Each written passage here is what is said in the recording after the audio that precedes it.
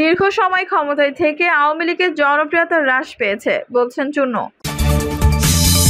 এদিকে বিএনপি একটি জালিয়াত রাজনৈতিক দল, বলছেন পররাষ্ট্রমন্ত্রী। জানাব বিএনপির যুগপৎ আন্দোলনে এবারও আড়ালে জামায়াত। এবং সর্বশেষ জানাব ডিবি কার্যালয় থেকে বের হয়ে যা বললেন মামুনুল হক।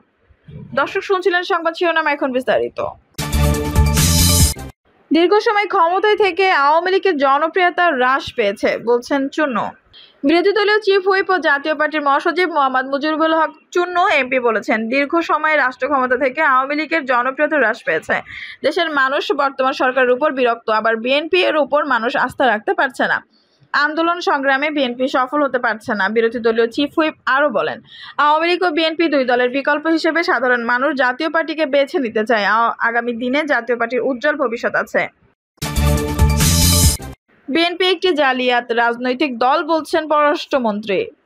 বিএনপি একটি জালিয়াত রাজনৈতিক দল মন্তব্য করে পররাষ্ট্রমন্ত্রী ও আওয়ামী লীগের যুগ্ম সাধারণ সম্পাদক ডক্টর হাসান মাহমুদ বলেছেন, আপনাদের মনে আছে গত বছর আঠাশে অক্টোবর জো বাইডেনের ভুয়া উপদেষ্টাকে বিএনপি হাজির করেছিল? ভুয়া উপদেষ্টা যখন বিএনপি কার্যালয়ে, তখন দেখি শুধু ইংরেজি বলে, পুলিশ যখন ধরে নিয়ে গেল, তখন দেখি গড়গড়াইয়া বাংলা বলে। ডক্টর হাসান মাহমুদ এমপি বলেন, তার আগে বিএনপি কংগ্রেসম্যানদের এই সইজাল করেছিল। সেই সময় বলেছিল, ভারতের অমিত শাহ ফোন করেছিল। অমিত শাহর অফিস থেকে বলা হলো, তিনি কাউকে ফোন করেনি যে আওয়াজ ছাড়া হয়েছিল সেটা অমিত শাহ নয়। দেশের উন্নয়ন অগ্রগতি দেখে বিএনপিও তাদের দোসরদের মাথা খারাপ হয়ে গেছে। মাঝে মধ্যে দেখি জি এম কাদেরও মাথা খারাপ হয়ে যায়। তিনি আরও বলেন, নির্বাচনের আগে আমরা দেখছি বিএনপি প্রতিদিন বিভিন্ন অ্যাম্বাসিতে ঘুরে বেড়াতো আর দিন দরবার করতো। নির্বাচনটা যাতে বন্ধ করা যায়, কোনো লাভ হয় নাই। নির্বাচন হয়েছে, বিয়াল্লিশ শতাংশ মানুষ ভোট দিয়েছে। যদি নির্বাচনের দিন কুয়াশা এবং প্রচণ্ড ঠান্ডা না থাকতো, তাহলে আরও বেশি মানুষ ভোট দিত। আর বিএনপি যদি নির্বাচন প্রতিহতের ঘোষণা মানুষের উপর হামলা, ট্রেনের মধ্যে শিশু, সন্তান সহ পুরো পরিবারকে জ্বালিয়ে হত্যা না করতো, তাহলে ভোটের হার ষাট শতাংশের বেশি হতো।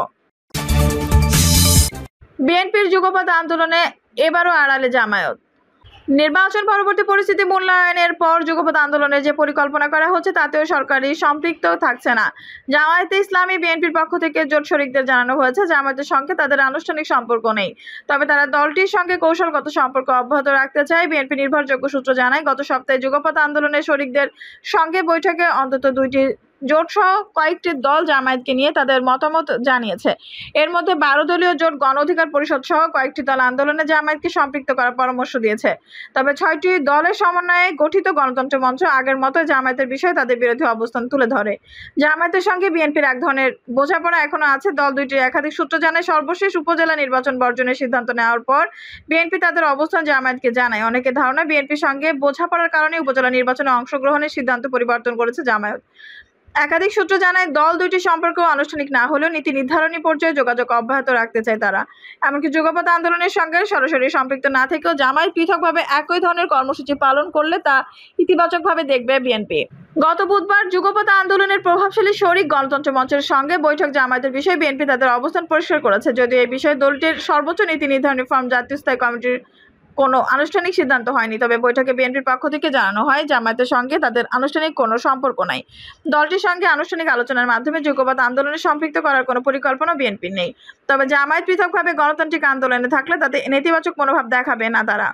গণতন্ত্র মঞ্চের নেতারা জানান, জামায়াতের যুগপথের কর্মসূচি পৃথকভাবে পালন করলে তাদেরও আপত্তি থাকবে না।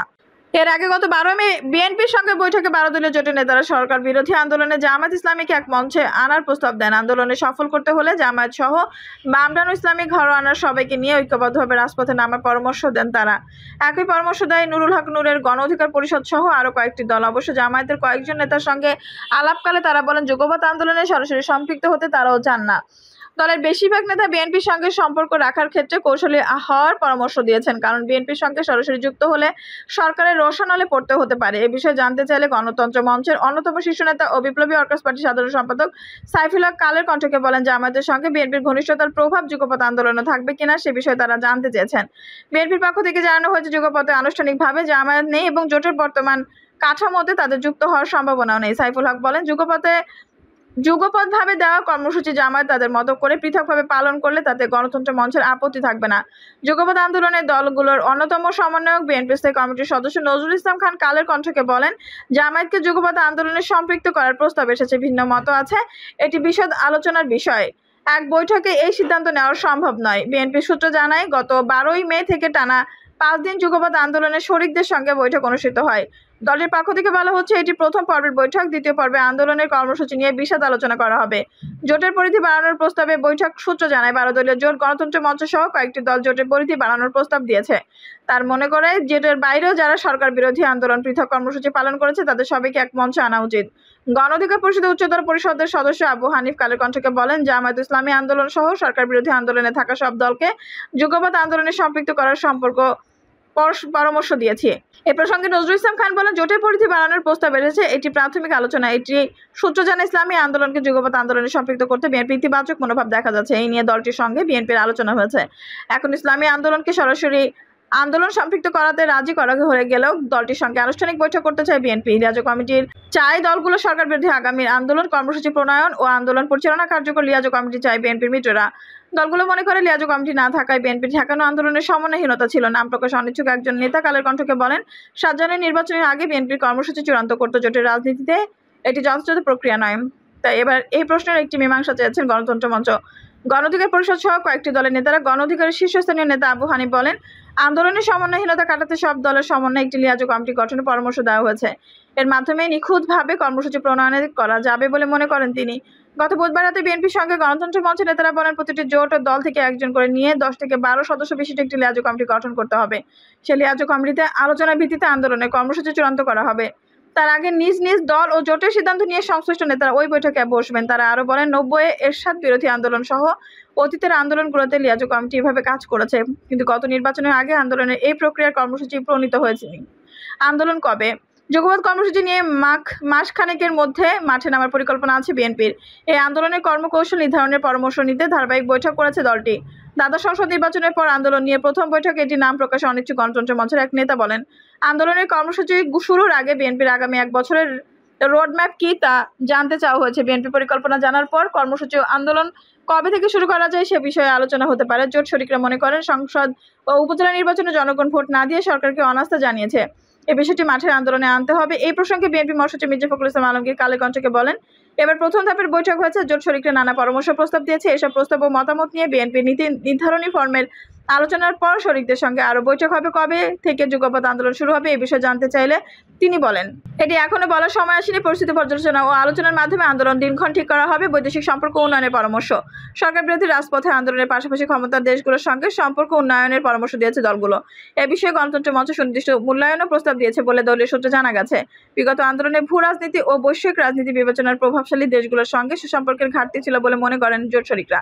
তাদের মতে, বিএনপি নেতৃত্ব আন্তর্জাতিক সম্পর্ক জোরদার করতে পারেনি। বিএনপির সঙ্গে বৈঠকে মঞ্চে নেতারা বলেন, ভবিষ্যৎ কর্মপরিকল্পনা যুক্তরাষ্ট্র সহ পশ্চিমা দেশ এবং ভারতীয় চীনের সঙ্গেও সম্পর্ক উন্নয়ন করতে হবে। আন্দোলনের প্রধান দল হিসেবে বিএনপিকে এই দায়িত্ব নিতে হবে। বৈশ্বিক রাজনীতিতে প্রভাবশালী দেশের সঙ্গে সম্পর্ক জোরদার করা না গেলে শুধু আন্দোলনের মাধ্যমে সফলতা পাওয়া কঠিন। তবে জোট শরিকদের সঙ্গে বিএনপি ভারত সীমান্তে নিরীহ, বাংলাদেশি হত্যা মিয়ানমার সীমান্তে অস্থিরতা বিষয়টি আলোচনা আনেন। সীমান্ত হত্যার প্রতিবাদে কর্মসূচি দেওয়ার ইঙ্গিত দেন। বৃহৎভাবে পর্যবেক্ষণ করে আগ্রাসন বিরোধী কোনো কর্মসূচি দেওয়া যায় কিনা সেটা নিয়ে ভাবা যেতে পারে বলে মন্তব্য করেন বিএনপি নেতারা। বারো দলীয় জোটের কয়েকজন নেতা ভারতীয় পণ্য বর্জনের প্রচারণা আরও জোরালো করার পরামর্শ দেন। ডিবি কার্যালয় থেকে বের হয়ে যা বলেন মামুনুল হক। হেফাজত ইসলামের নেতা মাওলানা আমিনুল হক প্রায় আড়াই ঘণ্টা অবস্থান করেন ঢাকা মহানগর গোয়েন্দা পুলিশের কার্যালয়ে। পরে সন্ধ্যা সাতটা চল্লিশ মিনিটের দিকে তিনি ডিবির কার্যালয় থেকে বের হয়ে যান। এই সময় তিনি সাংবাদিকদের জানান, তার ব্যক্তিগত মোবাইল ফোন নেওয়ার জন্য তিনি ডিবি কার্যালয়ে এসেছিলেন। মামুল হক বলেন, আমাকে যখন গ্রেপ্তার করা হয়েছিল তখন মামলার আলামত হিসেবে আমার মোবাইল ফোনটি জব্দ করা হয়েছিল। সেই মোবাইল ফোনটি নিতে আমি আজ ডিবি কার্যালয়ে এসেছি। ডিবি কার্যালয়ে মামলা সংক্রান্ত কোনো বিষয়ে জিজ্ঞাসাবাদ করা হয়েছে কিনা? এমন প্রশ্নের জবাবে তিনি বলেন, আমাকে ডিবি ডাকেনি এবং মামলা সংক্রান্ত কোনো বিষয়ে জিজ্ঞাসাবাদ করেনি। মামলার আলামত হিসেবে জব্দ করা আমার মোবাইল ফোনটি নিতে আমি ডিবি কার্যালয়ে এসেছিলাম। মোবাইল ফোনটি তিনি ফেরত পেয়েছেন কিনা এমন প্রশ্নের উত্তর না দিয়েই হেফাজতের এই নেতা গাড়িতে উঠে যান। এ বিষয়ে মন্তব্য জানতে ডিবি প্রধান মোহাম্মদ হারুনার রশিদকে একাধিকবার ফোন দিলেও ফোন দেওয়া হলো তিনি তার ফোন রিসিভ করেননি। উল্লেখ্য, দু হাজার একুশ সালের তেসরা এপ্রিল নারায়ণগঞ্জের সোনারগড় রয়্যাল রিসোর্স এক নারীর সঙ্গে মাওলানা মামুনুল হককে অবরুদ্ধ করেন স্থানীয় আওয়ামী লীগ নেতাকর্মীরা। পুলিশ ঘটনাস্থলে গিয়ে তাদের জিজ্ঞাসাবাদ শুরু করে। খবর পেয়ে হেফাজতে স্থানীয় নেতাকর্মীরা রিসোর্সে গিয়ে ভাঙচুর চালিয়ে তাকে ছিনিয়ে নিয়ে যান। ঘটনার পর থেকে ঢাকা মোহাম্মদপুরের জামিয়া রহমানিয়া আরাবিয়া মাদ্রাসায় অবস্থান করেন মামুনুল হক। পনেরো দিন পর আঠেরো এপ্রিল ওই মাদ্রাসা থেকে মাওলানা আমিনুল হককে গ্রেপ্তার করে পুলিশ। পরে তিরিশ এপ্রিল সোনারগাঁও থানায় তার বিরুদ্ধে বিয়ে- বিয়ের প্রলোভনে ধর্ষণের মামলা দায়ের করেন তার সঙ্গে রিসোর্সে অবরুদ্ধ হওয়া নারী। যদিও ওই নারীকে তার দ্বিতীয় স্ত্রী দাবি করে আসছেন মামুনুল হক। এবার ওই মাসে দেশের বিভিন্ন স্থানে তার বিরুদ্ধে রাষ্ট্রদ্রোহিতা সহ অর্ধশতাধিক মামলা হয়। পরে সেসব মামলায় তাকে গ্রেপ্তার দেখায় পুলিশ। গ্রেপ্তারের পর থেকে এসব মামলায় কারাগারে ছিলেন মামুনুল হক। গত তিন মে সকালে গাজীপুরের কাশিমপুর কেন্দ্রীয় কারাগার থেকে জামিনে মুক্তি পান তিনি। দর্শক, এই ছিল এখনকার সর্বশেষ সংবাদ। নিউজটি ভালো লাগলে অবশ্যই একটা লাইক দিন কমেন্টে আপনার মূল্যবান মতামত জানান। সবসময় আমাদের পাশে থাকতে সাবস্ক্রাইব করে বেল বাটন অন করে রাখুন। ধন্যবাদ।